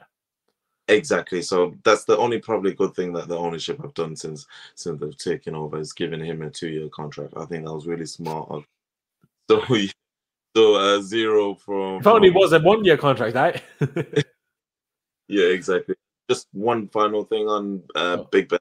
Really concerned about him. It's I don't know what's happened to him. It's I really had high hopes. Uh, I don't know what you guys think on him, but it's just not looking. I, I said it a couple of times over the last few days after United and in the preview yesterday. I said last year, let's not get too overhyped. He's only played 10 or 12 games. They were none of the big games because he wasn't eligible in the Champions League for us. So he played in the games that none of the other players even tried anymore for because obviously we all know of them wanted to leave. Then Lampard turned up and no one tried anymore. So having good games in that scenario is all well and good. But now he's had at least as many bad games as he's had good games um, last season. So, but conclusion of that is neither is he amazing like people thought last season, nor is he absolutely awful like people think now. It's a mix of the two. You need we, we need to just wait how he develops. But yeah, it's certainly not off the level where you're going into next season saying Badiashile is our starting centre back. Absolutely not. I think that's for sure. Um, Bertram, Pochettino, Neshi went cold and simple, gave him a zero.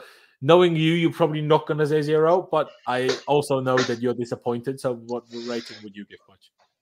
I'd give him. Actually, I think you? yeah. I. I, I, I have I defending and defending. I still I think he has a lot of the blame, but I think you know against Burnley, for example, I wouldn't give him all of the blame. I think he coached a fair enough team. We missed a lot of chances. Yeah. He doesn't have control over you know mistakes we've made. I think even against Leicester, I think a lot of these games he's coached us to to a very good position. Even United, you know, he coached us to be uh, two 0 up. He's But he why isn't he coaching the players to stop making mistakes, though? Well, I, I think I, I think that goes back to the fact that this is a young team, and I think it's it's not it's not mistakes in a way that it's it's like it's like if you're a goalkeeper and you just a ball comes toward you and you try and catch it and it goes in. It's like a freak error. I think a lot of the the the errors that we've uh, conceded to, you know, the Petrovic, you know, not save, it's a freak error. Hundred times out or ninety nine out of hundred times, he saves that ball. I think Caicedo I don't think he makes that mistake if you uh, play that scenario again, or at least maybe maybe once out of hundred times. I think a lot of the games where we've lost points have been because of freak errors. I think today we were bad. We were very bad from start to finish. I think tactically maybe wasn't the right thing to do.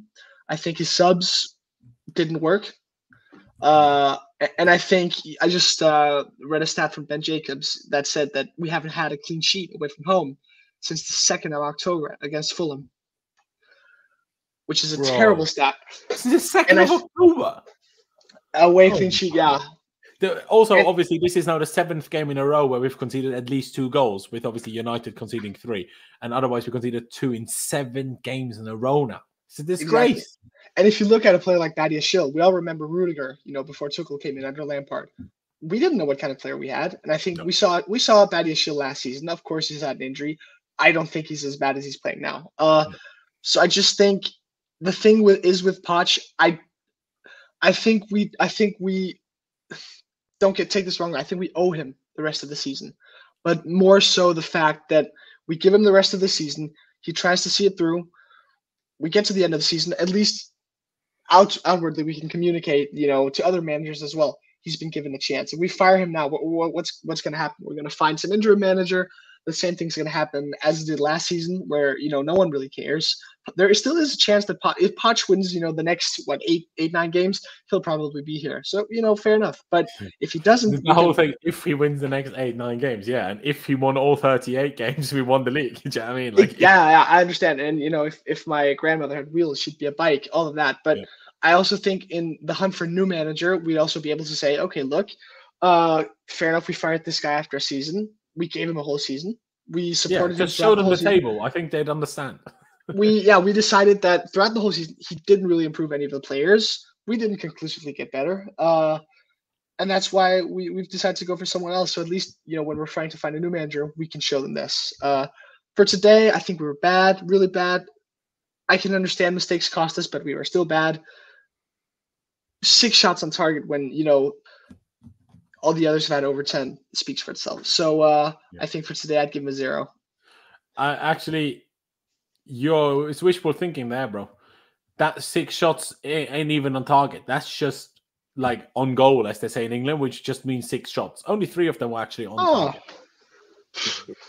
a bit disappointing, to be honest. Yeah, it, it would have been to be fair to the other stat. It would have been crazy if all these other teams, if if Fulham had 24 shots on goal, on target. Sorry, again, that would have been very crazy. Well, I So- suppose what what what is their goal difference? Like minus fifty four or something? in a Minus sense, 50. minus, minus fifty. Yeah. Yeah, we contributed to what two of those goals. Perfect. Yeah, exactly. Well, and the last time we played them, how many goals did they score then? We only scored two, so we've we've scored about against them this season in total Oh, yeah. about half of the goals that Newcastle scored in one game there as well. Exactly, exactly. Um, I'm gonna keep it simple. I agree with Azira. Do I want to give him a poo emoji? Yes, but I'm almost past that. Like even now, like I know today infuriated me again. After on Thursday, we were all even a bit happier with him uh, and the whole situation. But I'm just so long past it. Like I was in January and, and, and even early February, I was very adamant. Sack him now. I was especially once we made the Carabao Cup, and I'm like, sack him. Give us a chance of winning this final, please. I was like, Jose's just been sacked. He's right there, just just for the final, just until the end of the season. Just Jose slapping some discipline into these lot before you can get a different proper manager in. Because Jose's still different to like Lampard, and also it's a different squad that's not 95% of it leaving. If you, just if you gave it Jose in February until the end of the season, I don't know if he would have accepted, but at least try, man. Think we win the final with him, and uh, I think a lot of these players would have benefited from a bit of discipline and also from learning a bit of how to actually defend. Um, would have learned a lot from that. It's like what Roma are benefiting from now. A lot of people are talking about, oh, look how great Roma are now that Jose's left and how they're great they are under De Rossi. But if you've watched them, you see, okay, De Rossi is now playing a lot more expansively. But what Roma have learned in the last three years on a Jose is they now, when they are under the cush, when they are under pressure, they have now learned how to deal with that. And that's why their results have gone up so much because they're, they're it's not like basketball like us to that extent, but it's a lot of back and forth at Roma nowadays with, De Rossi. but because they've now learned to defend, that now leads to win. So that's why I feel like we could have used Jose in that positive sense with a different manager next season. But it is what it is. Um, I think we're back to the good days, right? Because Ollie, I think it was it the other week, told me maybe nowadays instead of upwards and onwards, we should say backwards and downwards because, mate, that's what it is these days. Um, but no, I, I try to remain positive. It's not no game until next Monday now. Oh, infuriating me. I mean, some Champions League to look to to watch. Some Europa League, Conference C, we might be next season, but not if we keep drawing games like this. Then we won't be in any of these things. Um, but yeah, please do check out Naishi's Twitter down the description below. Check out Bertram's Twitter down the description below. Bertram doesn't use it particularly a lot. I'm not quite sure how often Naishi uses it, but check them out anyway. Drop them a follow. The more of you to do that, the more active they'll be, I'll promise. Um, but yeah, if you haven't already, please be sure to subscribe, hit that like button, would be massively appreciated. And as much as I find it funny, backwards and downwards, I'm gonna have to stick with upwards and onwards. And um, I've wrote my own outro. So we're gonna just start again and say thank you guys for watching. Up the Chels, upwards and onwards, and we will see you next time.